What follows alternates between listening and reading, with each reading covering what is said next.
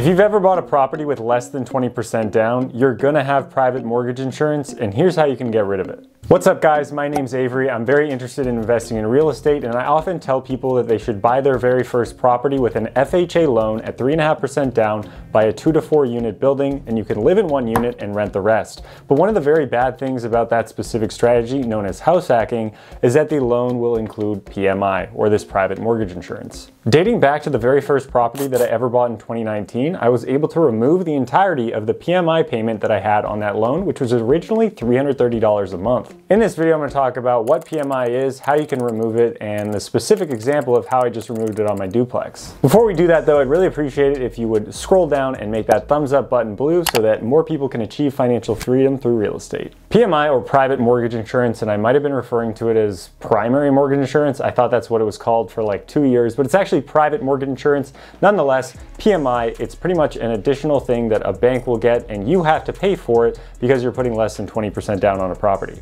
Now, not always do you have PMI if you put less than 20% down on a property. There are examples like a VA loan that have no PMI, or I recently did a second home loan that had no mortgage insurance with it either, and I only put 10% down on that one. But typically, if you're putting less than 20% down, you are gonna have some type of PMI payment. And like I said, that PMI is really an additive for the bank so that they feel less risky. It's an insurance policy because you've put such little money down and they've come up with a majority of it. So in case you default on a loan, they have some backup of some insurance other than the fact that they can own that asset as well, which typically happens when you aren't paying a loan anyway. PMI sucks and there's really no way around it if you're putting down less than 20%, but one of the great things is that you can get rid of it in a number of ways. And the way you get the amount of insurance policy that you're paying for or this PMI comes specifically from the loan amount. So the larger the loan amount, the higher the amount of PMI you're gonna have to pay. So my very first property, the one that I removed the PMI, I had roughly a $500,000 loan and my PMI payment was $330. Now I had a $650,000 loan on my second property and my PMI payment was almost $600 a month. And I don't know the actual math, I have it in my cash flow calculator if you wanna check that out in the description below so you can learn how to run numbers confidently and see if that property is gonna cash flow. But essentially it's something between 0.75 to 1% of the loan amount divided by 12. I don't know, some math like that, and it comes out to be about $330 for every $500,000 of property that you buy or I'm just guessing because that's what it was for me. And that 0.75 to the 1% of PMI that can be calculated based off your loan has to do with your credit score. So the better credit score that you have, the lower amount of PMI that you're gonna be paying. So PMI does suck, but one of the great things about real estate as well as the loans that you can get is that you can remove PMI. And PMI is one of those things that people say, why don't I just wait until I have 20% down? That way I don't have to worry about paying that extra payment. Well, in this scenario, when you're house hacking or when you're putting less than 20% down because you're investing in real estate and not just buying your primary home, or even if you're buying your primary home, you can put a lot less money down, put some funds into the property so that you can renovate it, increase the equity, and then remove the PMI once you've hit that 20% amount. In that specific scenario, you can put less money down and you didn't have to wait so long in order to save all of that money up. You don't have to miss out on some potential appreciation in the building.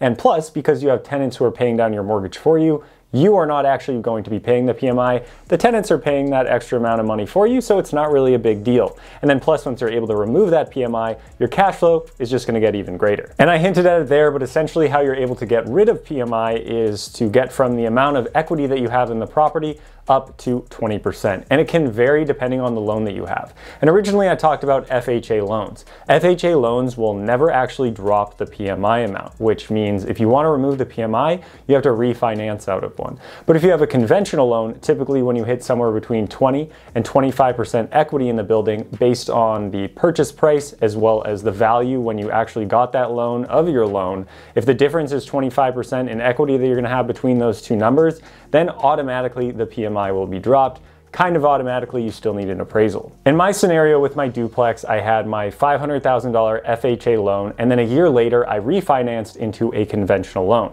And at the time, I was able to drop my PMI from about 330 a month to just under $100 because I had just over 15% equity in the building at that time, and because I had a lower loan amount and the amount of money I put into it, that meant that my PMI was lower, plus I now had a conventional loan, which meant after about three or four years of payments, I would have been at the 20% equity amount where my PMI would automatically drop, but I didn't want to wait that long, so I did it a little differently. As I mentioned at the time, I had about 15% equity in the building, and if I just paid attention to the value that they appraised it at when I did a refinance and the amount of loan that I had, just paying down that loan slowly over time would have been about four or five more years until I could have dropped the PMI. And the PMI won't just drop automatically. You have to call the actual mortgage servicing company. They're going to do some sort of appraisal or broker opinion and actually determine what the property value is. And that's exactly what happened when I went to get rid of my PMI. But in my case, I didn't wait four or five years because I knew the market had shot up a bunch and my property value went way up. So I just got them to do that appraisal and then completely get rid of the PMI. Now this was a really long, lengthy process because the bank doesn't want you to pay less money. Obviously they like having this mortgage insurance because it helps them, it makes them feel more protected. So you have to go out of your way, call them, be on hold, talk to a bunch of customer service people, and the way it actually specifically worked for my property is I had to wait at least two years from the time that I actually got my loan. Because I've had well over 20% equity in my building for more than two years, but that two year period from refinance came about six months ago, and I was a little bit lazy because it was kind of a long process, but anyway, I was able to call that actual mortgage servicing company. They sent me a letter in the mail after I called them, which got there about two weeks later with some instructions. And essentially it said, we're going to get an appraisal or kind of an appraisal and just send us a check to this address and we can get that started. So already it was quite a bureaucratic and very slow process. After I sent them the check in the mail, which was for $105, and if you've ever gotten an appraisal done, it's typically going to be somewhere between 500 and potentially $1,000 depending on the building that you're actually buying. So pretty cheap in comparison. But this wasn't like a typical appraisal. Essentially, they took a local real estate agent and then they got them to go look at the property, find some comps themselves, and say what they thought they would list it for.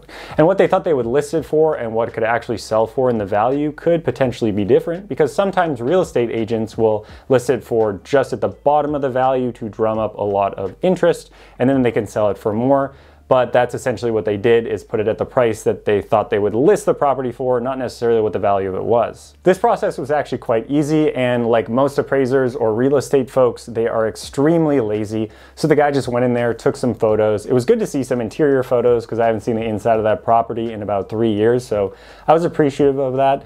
But essentially, he just said, How much money have you spent on fixing this place up? And so I had did a lot of work myself and pretty much just said what the highest quote I ever received for anything was. So I got quotes for a roof of 8,000 and 15,000. So I said I spent $15,000 on my roof just because if I went with a better quote that was cheaper or it made more sense, why should I be penalized for the value of my property? Because a lot of the time brokers or appraisers ask you that question and if you throw out a number, they really just take your old valuation and then add that number because they're really lazy. And that's actually exactly what happened on the first time I refinanced this duplex. So I knew better to not do that. I sent him a whole host, a list of things, everything that I fixed. I've done a lot of things to that property, interior cosmetics, plumbing, electrical, did the roof, did brand new furnace and hot water system. So a lot of good things are very updated and it's a very steady and well-maintained property, which I really wanted to convey. And not only did I give him that information, I also found three properties that would be good comparables that sold in the last three months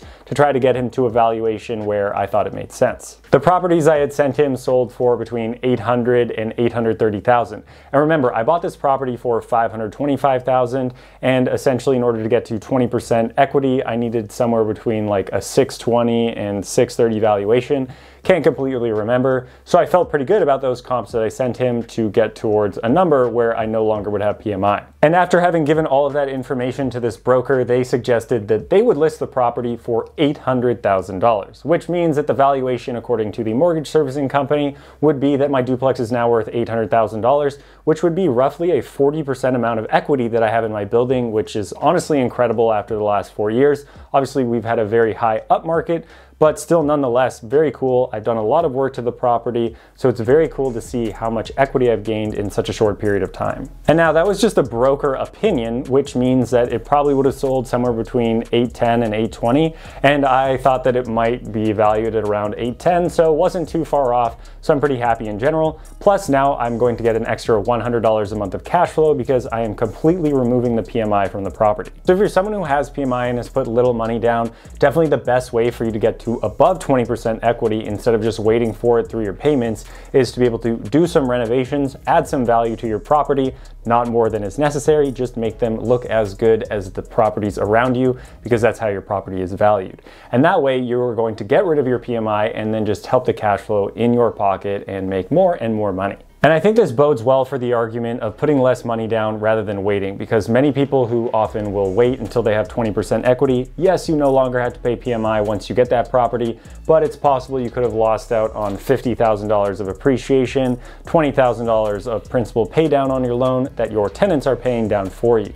So I think as soon as you can get in, try to get in and then do those things like value add in order to make your property worth more and then get rid of that PMI as fast as possible because your cash flow is only going to get better and better.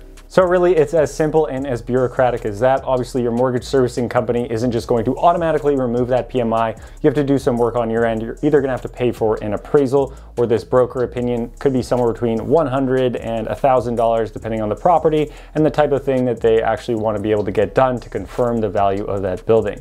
But once you do it, it makes a lot of sense. Whether you're paying 100 or $1,000, it usually takes you somewhere between two months and potentially all the way up to 12 months to recoup that cost. But if you're gonna be holding onto this property for a long time, which makes a lot of sense, then it's obviously the correct thing to do in order to get rid of that PMI. Hopefully you guys liked that video and it made a lot of sense. If you have questions, definitely drop them in the comment section below. And I also want to hear from you if you would put less money down and then try to get rid of the PMI or just wait and save so you no longer have that PMI be an issue and you don't have to go through this entire process. So if you guys like that video, again, don't forget to make that thumbs up button blue. I'd really appreciate it. And hit that subscribe button if you want to learn how to achieve financial freedom and build your wealth easily. And if you like me here, don't forget to check me out on TikTok and Instagram where I make a lot of short form content as well.